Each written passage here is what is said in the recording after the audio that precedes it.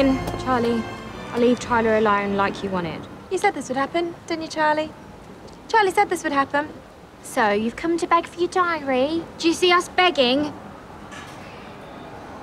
I mean, we're asking politely. Maybe you should beg. We're not begging. That's a shame. Says no. Please, can I have my journal back? Charlie didn't catch that.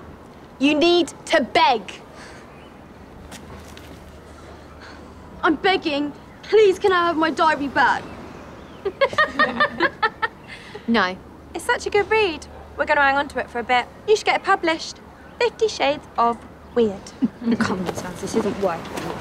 Please. Okay, fine. You can keep Saz's diary, but that means I'm going to do whatever I like with Tyler Blade. You're so pathetic, you probably don't even know what to do or how to do it. Really? Don't I?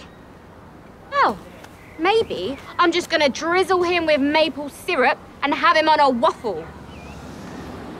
Which is a metaphor, by the way. I think. I'm really sorry, Saz. No one can help me. It's classic bully bullshit.